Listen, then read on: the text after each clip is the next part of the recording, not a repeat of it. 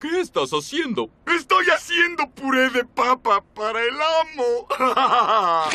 Pero yo no quiero puré de papa. Ah, no es para ti. Mandy me explicó todo. Y finalmente estoy haciendo lo que vine a hacer. Estoy sirviendo a mi amo. Sí, y tu amo tiene hambre. Así que déjense de charlas y apresúrense con el puré de papa. Yo me encargo de aplastar las papas mientras tú preparas la salsa.